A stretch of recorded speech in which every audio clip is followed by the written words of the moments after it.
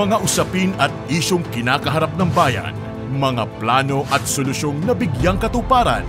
Alamin ang estado ng ating bansa. Ang State of the Nation Address ng Pangulong Ferdinand Marcos Jr. Tutukan sa Teleradyo Serbisyo at Radyo 630 Special Coverage. Kasama sina Peter Musngi at Rica Lazo simula alas 2 ng hapon at Carmina Constantino at Tony Velasquez simula alas 4. Ngayong July 22, Lunes, ang Sona ng Pangulo, hatid ng Teleradyo Serbisyo at Radyo 630. Ang Radyo 630 ay napakikinggan sa 630 kHz AM band at sa bayang napapanood sa Teleradyo Serbisyo.